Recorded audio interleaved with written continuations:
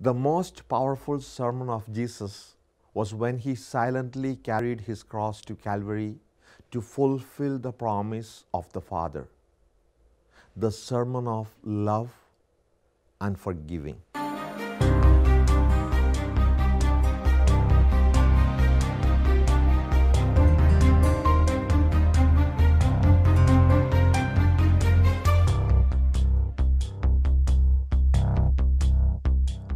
Lent is a season of fasting and spiritual preparation to celebrate the paschal mysteries, the passion, death, resurrection, and ascension of the Lord.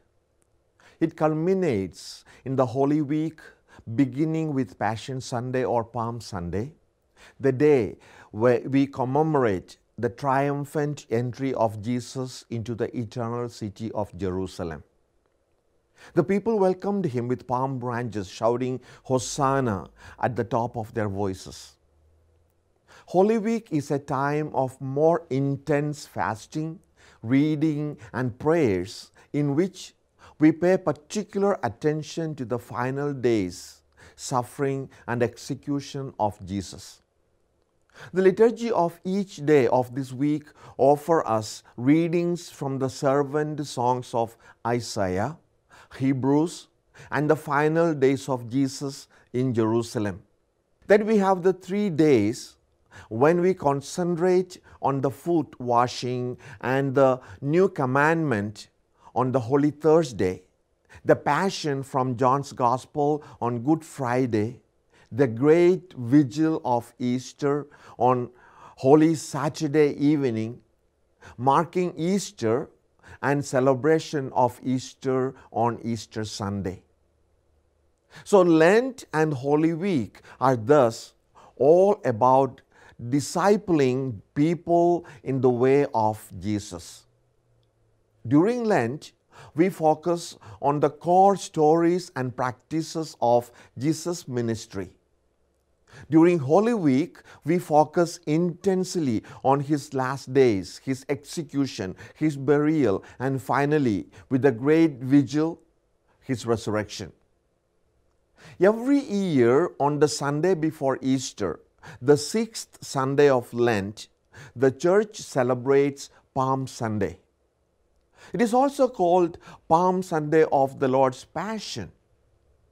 The name is appropriate as it celebrates Jesus' triumphant entry into Jerusalem, but also commemorates the beginning of Holy Week and Jesus' final journey to the cross. When Jesus enters triumphantly into Jerusalem, riding on a donkey. The people shouting Hosanna, waving palm branches, a sign of victory and triumph something that was done only to a person of highest honor. This Messiah King is the one who will liberate and bring peace to Israel. On Holy Thursday, we celebrate the final meal of Jesus with his disciples, the Last Supper. It is also the establishment of the Eucharist of Christ continuing presence among us. The washing of his disciples' feet, an act of extreme humility and service. And the Lord asking his disciples to do it in memory of him, to wash one another's feet, and to be at the service of each other. The time that he spends in the Garden of Gethsemane praying to receive strength from the Father to go through the suffering that was going to follow. The agony in the garden where he fell to the ground, his sweat turning into blood, and at the same time asking his disciples to stay awake and pray so that they would not fall into temptation. Let's now meditate on the Via Dolorosa the way of the cross as Jesus was led to Calvary. Jesus is condemned to death.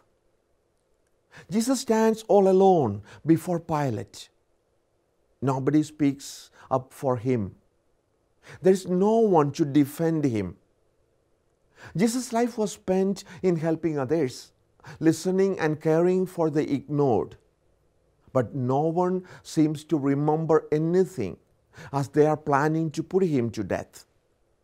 It is true that sometimes we also feel alone, lonely. Sometimes I feel that others do not stand by me and defend and protect me. Sometimes I don't feel that I am treated fairly. I have a hard time when people criticize me at home or even at work. Lord, help me to be grateful for what you did for me, to accept criticism and not to complain. Help me to pray for those who hurt me then we find Jesus carrying his cross. Jesus accepted the cross. Jesus, you knew you would carry it to your death on Calvary. You knew it that it would be it wouldn't be easy, but you accepted it. Often I don't like the problems that come on my way. I want others to take care of them. Often I become upset with others, even for small things. I feel like I'm not appreciated. There are times when I feel that I have more work than my companions, my co workers.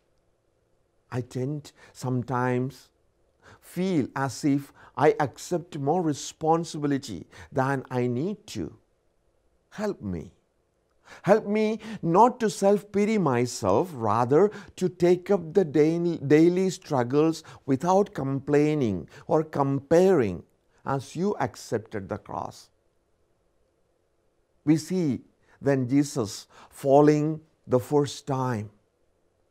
Jesus, the cross you carried was very heavy. You became so weak and you fall down under the weight of the heavy cross. No one comes forward to help you. The soldiers hit you and force you to get up. For them, it is mere fun. Often, I too get tired of things. Sometimes I do a miserable job just to get it completed. I do not pay attention and sometimes I give up when life becomes difficult. I also have the habit of postponing. May your grace help me to accept the hardships and get up from every fall to continue with life. Jesus meets his mother. Jesus, I'm sure you felt so alone carrying the cross as everyone around was yelling and screaming at you. I'm sure you looked around for a familiar face in the crowd.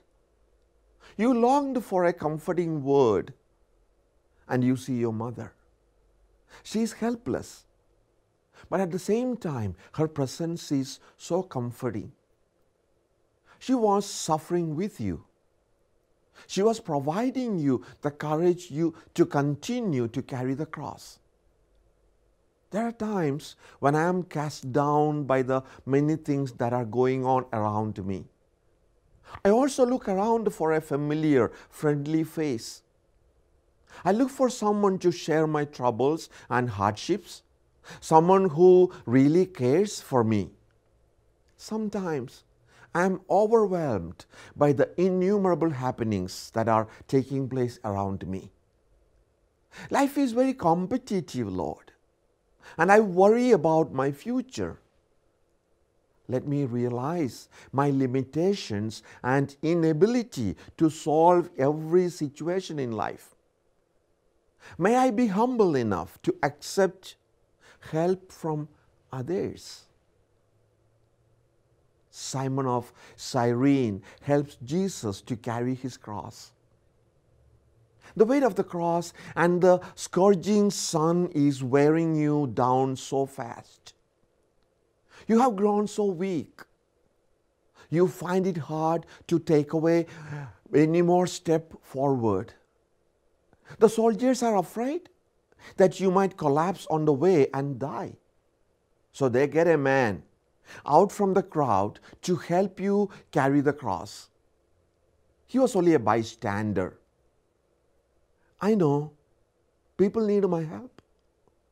But often I pretend not to see and hear their needs. I ignore them. Even when I am asked to help, I pretend to be too busy. Lord, help me. Help me to be sensitive and mindful of others and their needs. Veronica wipes the face of Jesus. Jesus, you're exhausted. Your face is full of dirt and sweat mixed with your blood. You would appreciate any kind of comfort. Suddenly, a woman comes out of the crowd. Her name is Veronica. You can see how she cares for you as she takes her takes a handkerchief and begins to wipe the blood and sweat from your face. She can't do too much, but she offers the little help that she can. She does not worry about the soldiers and others who are jeering at you and who are trying to take, you know, take her away from you.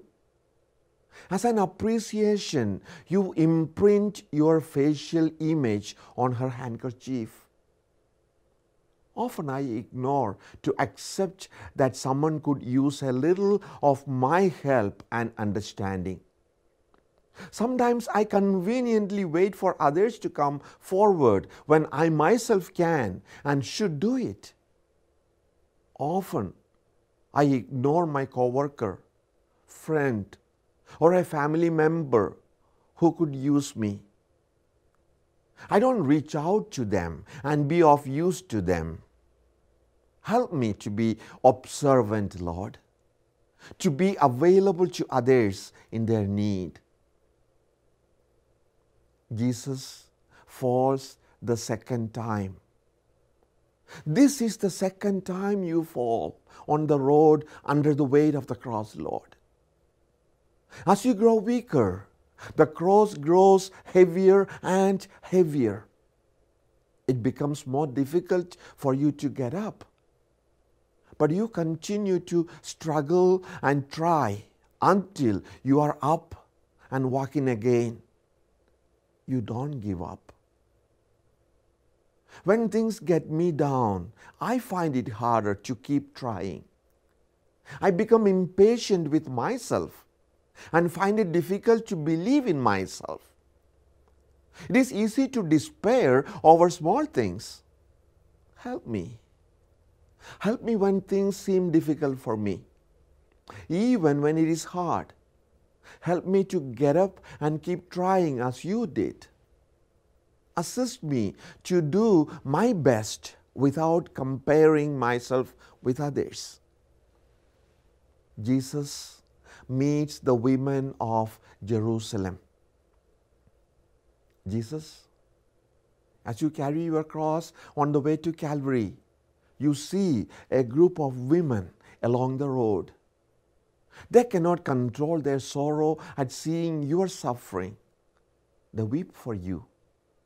You stop to spend a few moments with them, to offer them some encouragement. Although you have been abandoned by your friends and are in pain, you stop. You stop and try to help them. You know, sometimes I think a lot about myself. I think about what I want and how others should try to please me. I become so absorbed in myself what I would like that I forget about the needs of others. I take them for granted and often ignore their needs. Help me to think more about others. Help me to remember that others have problems as well. Help me to respond to them even when I am busy. Jesus falls a third time.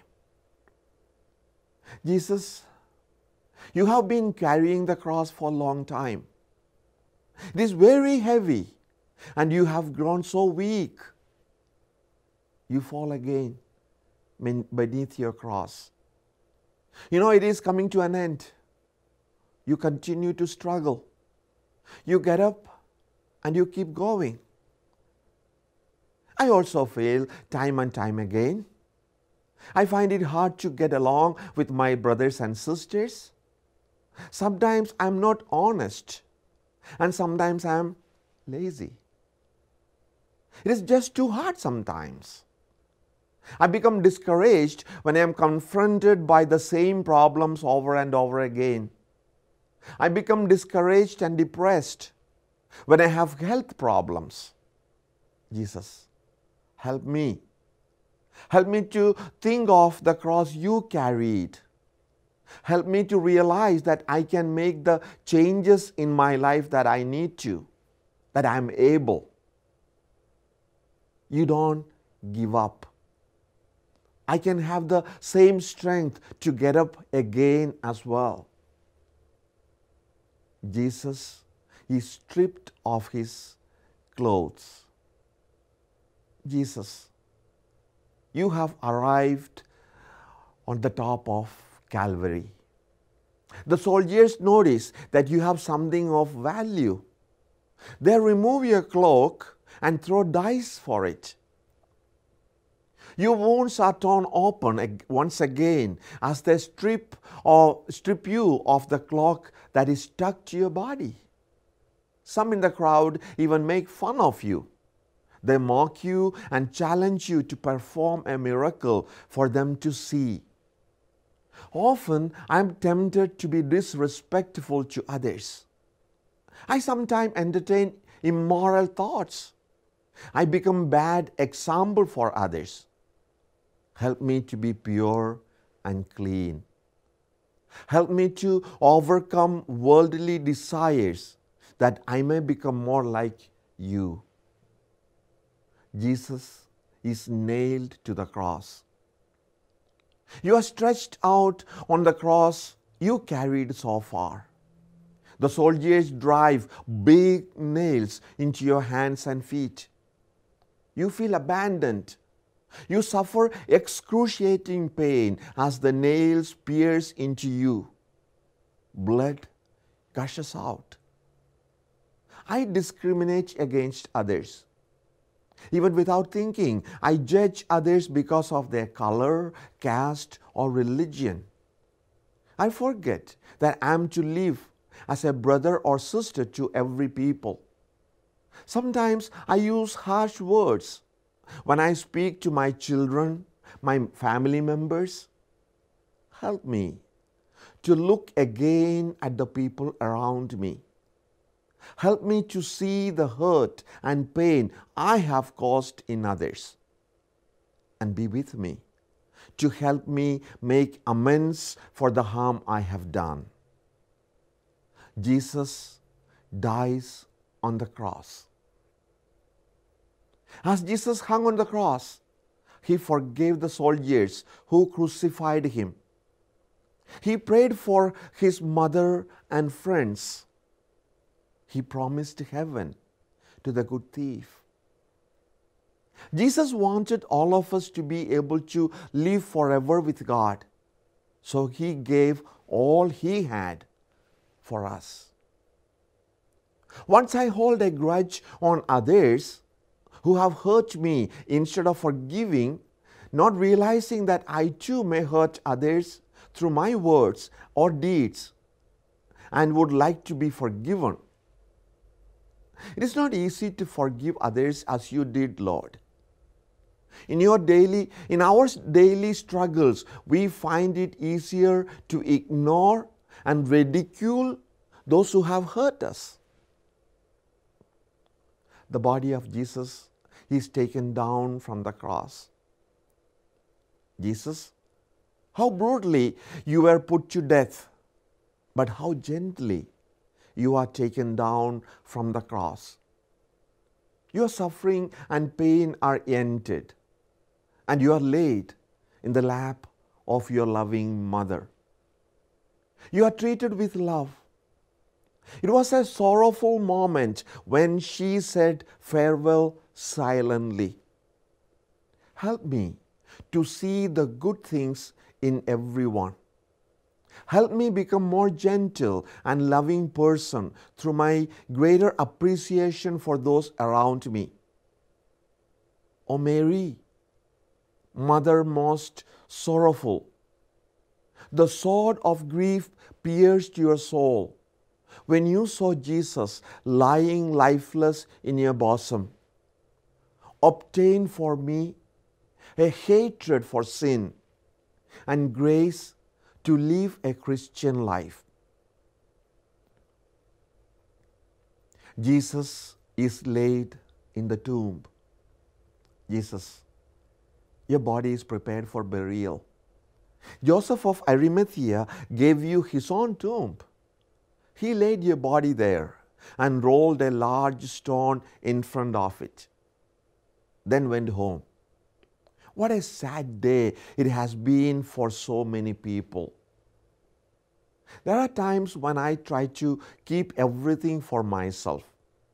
I find it hard to share my things with my brothers and sisters and with my friends. I find a strange satisfaction accumulating things and keeping them for to myself. Help me. Help me think of Joseph of Arimathea who risked his own life as he accepted your body for burial. Help me think of how Joseph loved Jesus so much that he gave his own tomb.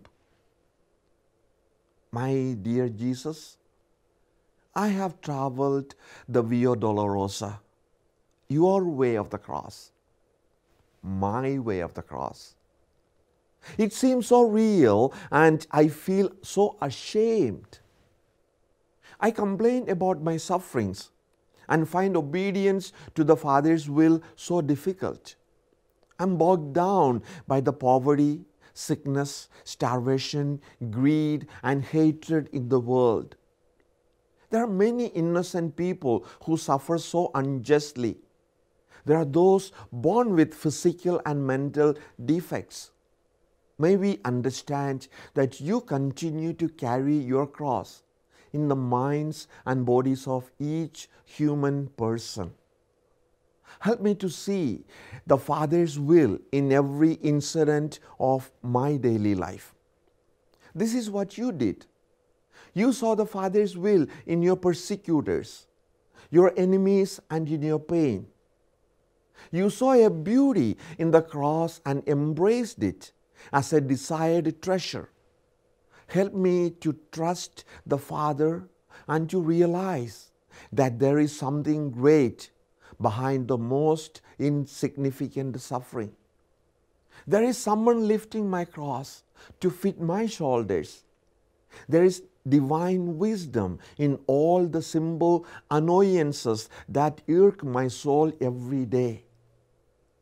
Jesus, you completed your mission and nothing would deter, deter you.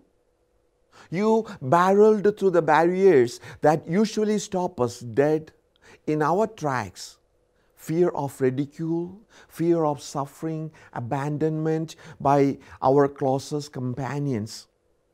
You're willing to endure the sting of sin to blot our sin and was eager to face death in order to overcome it. You said very little during your passion. You were truly like a lamb led to the slaughter, or like a sheep before the shearers, silent and open not your mouth. You preached through your silence your most powerful sermon.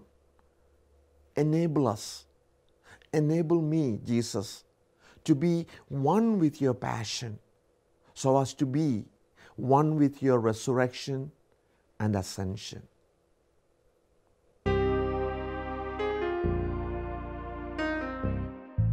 Do you want to fall in love with God? I'm sure we all want to. The book of Psalms contains the directions. Thousands of years ago, people like you and me talked to God out of the depths of their hearts, revealing an intimate love. Psalms are the expression of the faith in God by people around 3,000 years ago. God was not a mere abstract creator, but was present, involved, and a real person of power and emotions. Now, when we read or listen to the Psalms, we can know the intensity of this love. Entering into the influence of the Psalms, we can find a path to know and love God. To know more about the Psalms, you should get a copy of Father Mike Manning's booklet, The Psalms. It will help you to understand the 150 Psalms better as he has categorized them. He uses the technique of acts adoration, contrition, thanksgiving, and supplication. Get your copy today and know the categories. Learn to pray with the Psalms. Call the number on the screen or email us. You can also get it through our website. Get your copy today.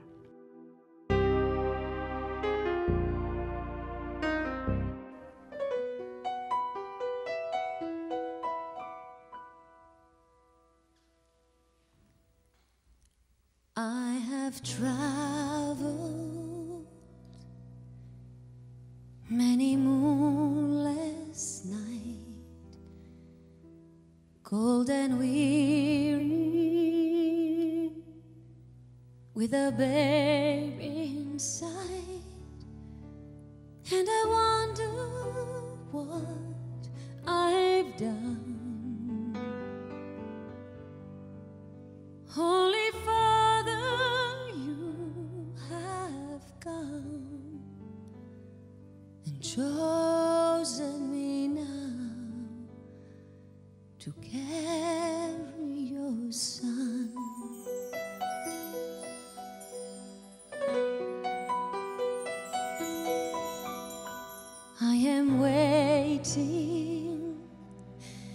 silent prayer.